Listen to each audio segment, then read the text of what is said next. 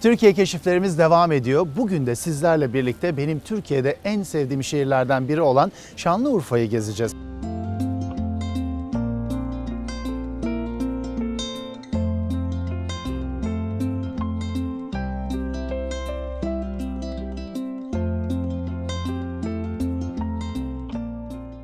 Şu anda bulunduğumuz yer Balıklı Göl. Hikayesini de anlatayım. Hemen Balıklı Göl'ün arkasında meşhur Urfa Kalesi var ki kale inanılmaz güzel. Orada iki tane 17 metrelik sütun görüyorsunuz. Bunlar Roma döneminden kalma sütunlar ve dediklerine göre Nemrut yani Babil kralı Hazreti İbrahim'i onları mancınık olarak kullanıp ki aslında tarihlere bakarsanız bu pek mümkün değil. e, buraya fırlatıyor ve Hazreti İbrahim'in düştüğü yer bir e, göle dönüşüyor ki bugünkü adı Balıklı Göl ve o mancınığın altındaki odunlar da burada balık oluyorlar. Hemen arkasında Balıklı Göl'ün Rızvaniye Camii'ni görüyoruz ki Türkiye'nin en güzel camilerinden biridir. Üç kubbeli bir camidir. Onun devamında Döşeme Camii ya da Makam Camii bulunuyor ve e, Şanlıurfa'nın değişik adlarını da görüyoruz. Mesela bir tanesi Edessa ki ta Büyük İskender'den e, kalma, ta Makedonya'dan buraya taşınmış bir isim. Bir diğeri de e, biliyorsunuz El Ruha olarak geçiyor. Burası tarihi Ur şehri ve Hazreti İbrahim'in de e, doğduğu şehir olarak e, geçiyor.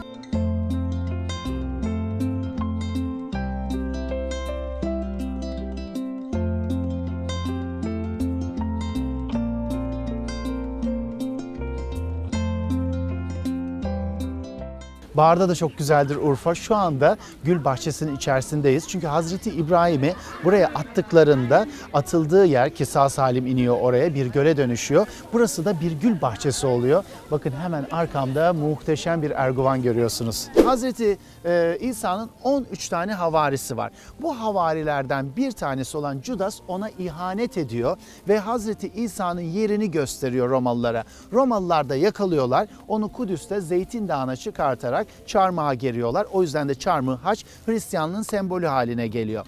Fakat bu ihanet eden Judas adı e, Türkçesiyle Yahuda İskaryot çok üzülüyor ve gidiyor kendini bir ağaca asıyor. Ağacın çiçekleri o güne kadar e, beyaz açarmış fakat bu utançtan ağaç bile kızarıyor. Ortaya ne çıkıyor? Erguvan. Batı dillerindeki adı nedir? Judas ağacıdır. İşte ihanet eden havarinin adını taşır. Batı dillerinde buna Judas ağacı derler. Biz Erguvan diyoruz. İstanbul'un boğazın sembol ağacıdır. Mayıs'ın ilk haftalarına kadar kalır. O yüzden de 13 rakamı uğursuz kabul edilir ve bugün gidin Amerika'ya asansörlerde 12'den 14'e çıkar. Uçakta 12. sıradan 14. e, sıraya atlar. Bunun sebebi de Judas'ın yaptığı ihanetten kaynaklanır.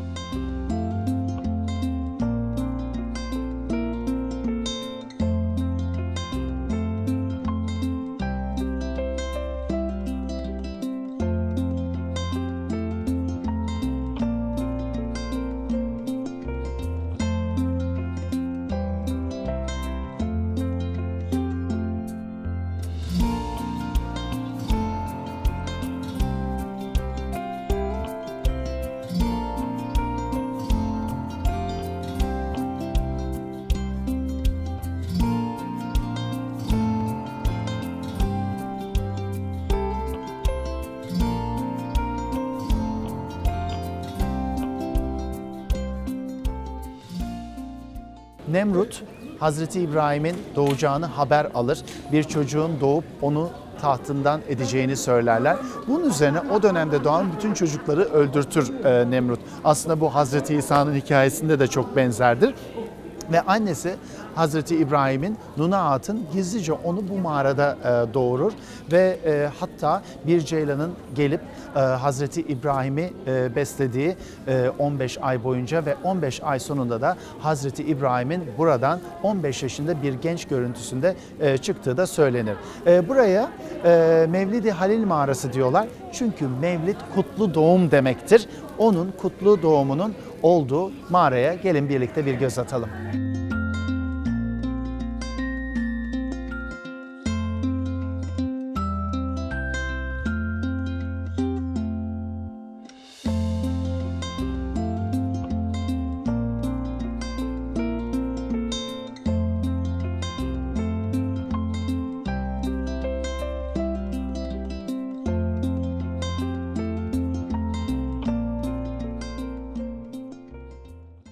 De size Şanlıurfa Kent Müzesi'ni gezdirmek istiyorum. Şanlıurfa çünkü en fazla arkeolojik kazı yapılan şehirlerimizden bir tanesi.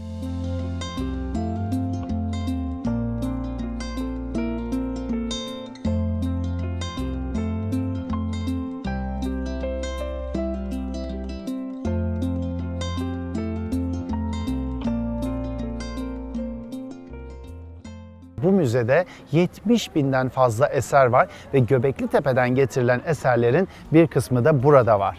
Aynı zamanda meşhur Urfa adamı ki dünyanın bulunan en eski insan heykeli olarak biliniyor. Gene bu müzede yer alıyor. Takipte kalın, birlikte gezeceğiz.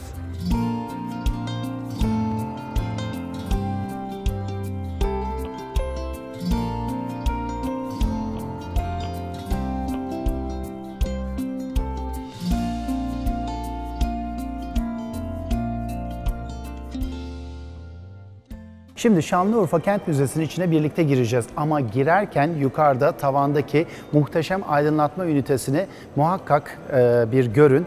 Çünkü gerçekten çok güzel ve neyi sembolize ediyor biliyor musunuz? Balıklı Göl'ün balıklarını.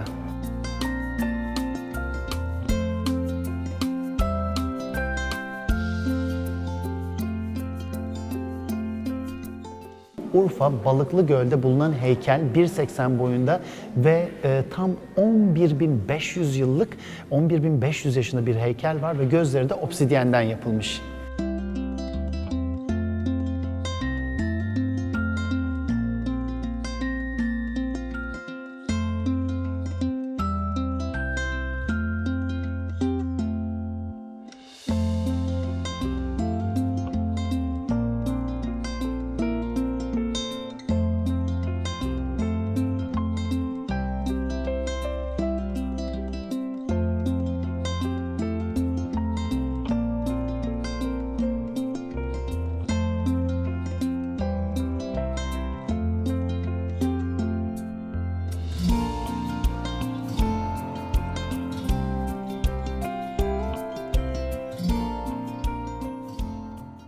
Göbekli Tepe'deki tapınaklardan birinin canlandırmasının içindeyiz. Müzede çok güzel bir şekilde canlandırmışlar. Böylelikle bu stellerin ne kadar yüksek olduğunu orantılayarak görmeniz mümkün. Bazılarının 7 metre yükseklikte olduğunu, bazılarının 15 ton ağırlıkta olduğunu e, belirtmiştim. Üzerinde hayvan betimlemeleri de var. İsterseniz gelin bir yandan da dolaşalım e, burayı ve e, bakın burada gördüğünüz gibi bir yuvarlak var. Ee, bildiğiniz gibi kara deliğin resmi çekildi.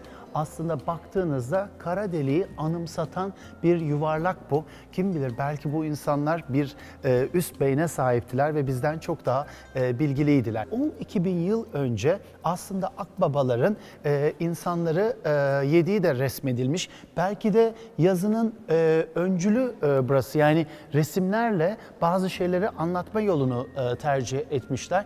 Mesela şuraya gelip baktığımızda akbabaları görüyoruz. Bakın burada mesela bir tane başı koparılmış bir insan var ve akbabalar alıyor o e, insanları yukarıya gökyüzüne e, götürüyorlar.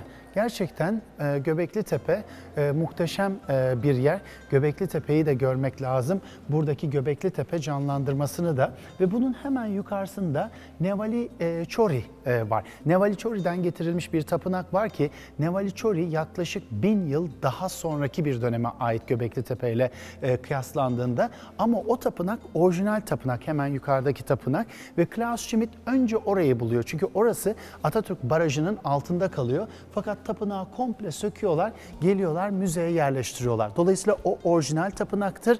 Ondan bin yıl daha eski olan Göbekli Tepe'deki bu tapınak ise bir canlandırmadır. Bunlar size Müzede gösterdiklerimizden sadece bazıları ve müzede 4,5 kilometre yol yürüyebiliyorsunuz. O kadar büyük bir alana e, yayılmış bir müze Şanlıurfa Kent Müzesi. Ama bunun devamında başka dönemlere, Tunç dönemine, e, Helenistik döneme, Roma dönemine ait eserler de var. Çünkü toplam eser sayısı 75 bin civarında.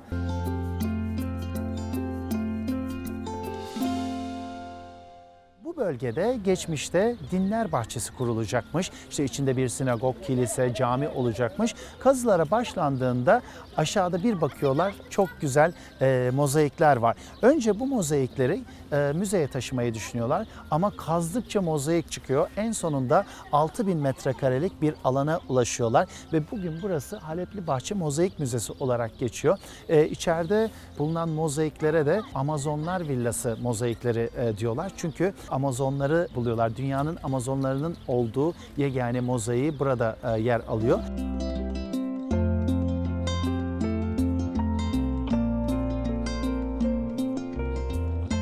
Burada dünyadaki tek Amazon betimlemesi var mozaiklerde bulunan. Tabii ki Amazonları fresklerde görebiliyorsunuz ama mozaiklerde dünyanın hiçbir yerinde göremiyorsunuz.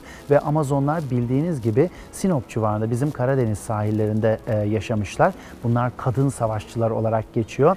E, Harmonia ile Ares'in yani e, bir e, su perisiyle e, savaş tanrısının e, çocukları olarak biliniyor Amazonlar. Ve bu Amazonlar villası aslında Bizans döneminden kalma yani 5. e, yüzyıldan kalma ve burada gerçekten inanılmaz hikayeler e, görüyorsunuz. Sadece Amazonlar yok. Mesela şu aşağıya baktığımızda burada Troya Savaşı'nın kahramanlarından Aşil'in doğum sahnesini görüyoruz.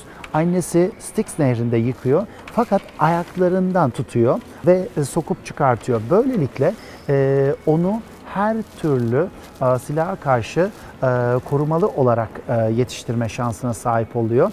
Biliyorsunuz Aşil tendonu vardır tıpta. Çünkü Troya Savaşı'nın hikayesini okuduysanız Homeros'tan öldüremezler Aşil'i. Sadece o bölümü ayağının Styx nehrine sokulmadığı için oradan vururlar ve Aşil'i öyle öldürürler.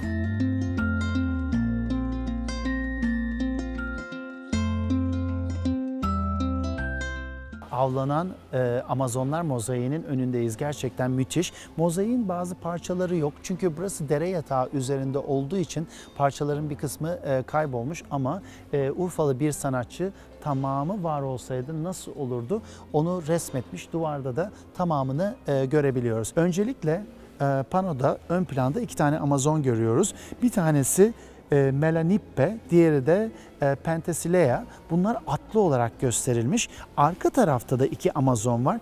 Bunun bir tanesi Hippolit, diğeri de Thermodosa. Onlar ise yaya olarak e, avlanıyorlar. Hatta Pentelesia'nın solunda böyle yaralı leoparla bir e, köpek var. Thermodosa'nın solunda ise deve kuşuyla köpek mücadelesi tasvir edilmiş. Bir aslan görüyorsunuz tam ortasında panonun. Acı içinde resmetmişler. Böyle kanlar fışkırıyor üzerinde. Gerçekten e, çok başarılı.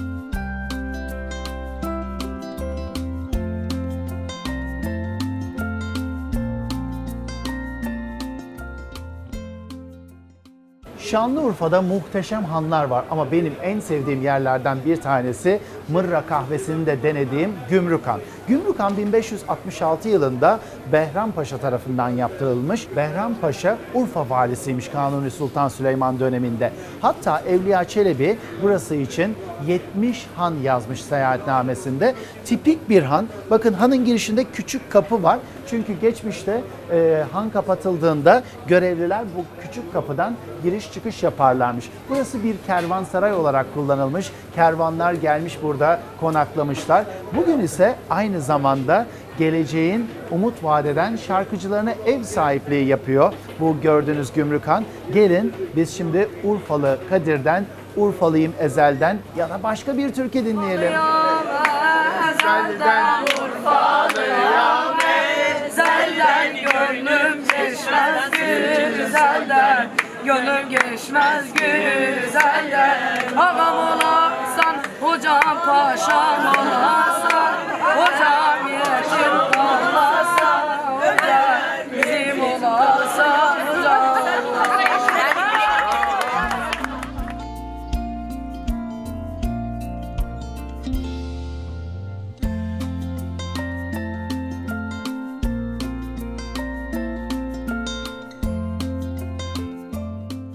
Valla ben şanslıyım. Gördüğünüz gibi elimde sevgili Bekir Felhan'ın kartı var. Bekir abiyi yıllardır tanırım. 33 yıldır ne de olsa profesyonel rapperim. Hep Urfa'ya geldiğimde sohbetimiz olmuştur.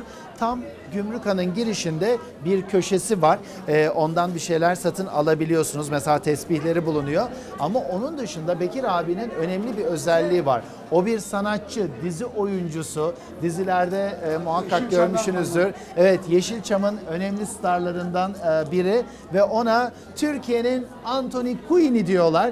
Gümrükhan'ın hemen girişinde görebilirsiniz Bekir abi. İsterseniz gelin biraz da çarşılarına bakalım. Çünkü Gümrükhan'ın etrafında müthiş güzel çarşılar var. Bu çarşılarda kaybolun, alışveriş yapın, bakırcıların bakırı dövme seslerini dinleyin, halılar satın alın. Bu e, şehrin ekonomisine bu vesileyle katkıda bulunun. Aynı zamanda çok güzel kumaşlar, şallar, ipekliler bu çarşılarda sizleri bekliyor. İsterseniz şimdi o çarşılarda gezelim.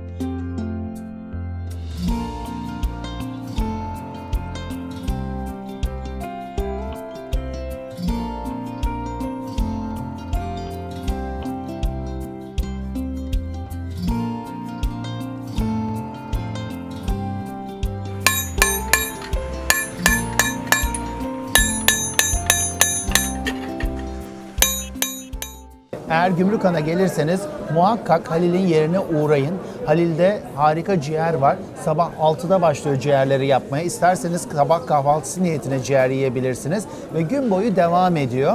Hem Gümrükhan'da Halil'in ciğerlerini yiyin, hem ayranını için, hem de Antoni Bekir abiyle sohbet edin. Güzel adreslerden bir tanesi de Çulcuoğlu. Oraya da gidip orada da çok güzel kebap ve tatlı yiyebilirsiniz.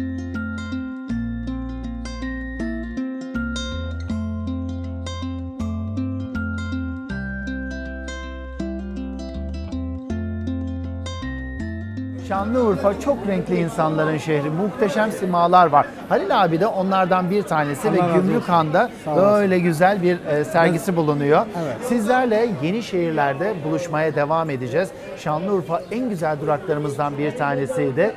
Kanalıma abone olmayı unutmayın. Bildirimlerinizi açın. Görüşmek üzere. Şanlıurfa'dan sevgiler. Saygılar.